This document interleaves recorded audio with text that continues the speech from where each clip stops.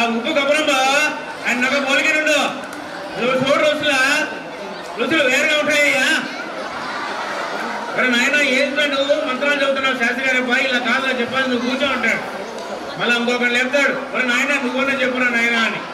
వాడు లేచి ఏ స్టైల్ చెప్పమంటారు మీ స్టైల్ ఉన్నా నా స్టైల్ ఉన్నారు అంటాడు. స్టైల్ ఏంట్రా ఏదో ఉద్యోగులు పద్యం చెప్పమంటే అలా కాదు మరి. నా శైలి చెప్పుకుంటా నేను నీ శైలి చెప్పను నేను. సరే యాదో ఒకటి చెప్పు ఏడుగురు నాయన అంటాడు. వాడు ఇలా చెప్తాడు. ఉప్పు కపురంబు. ఉప్పు కపురంబు. నొకపోలిక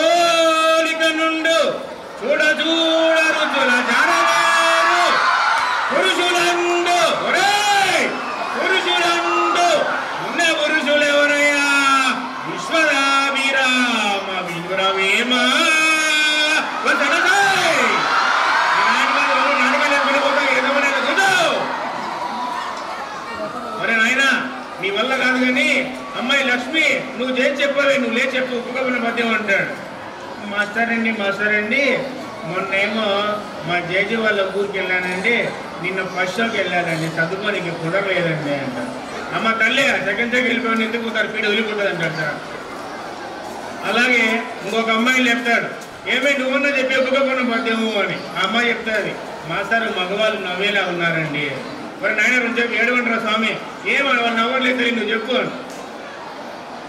ఉప్పు కప్పురంబు నొక్క పోలిక నుండు చూడ చూడ రుచుల జాడ వేరు. పురుష్ అబ్బా సిగ్గేస్తుందండి. పురుష్ అయ్య బాబోయ్. పురుష్ అబ్బా పురుష్ అమ్మ పురుష్ చెప్పలేను బాబు. పురుష్ పురుష్ పురుష్ పురుష్ అంటే తల్లి. మీ నా మీ నాయన ఇప్పుడు నేను పెళ్ళి చేయమని చెప్తా కానీ నువ్వు కూర్చో. నీ వల్ల కాదని చెప్పి మాట్లాడు. విసుకుంటారు. సో ఇది మేము చిన్నప్పుడు విన్నటువంటి ఒక మిమిక్రీ.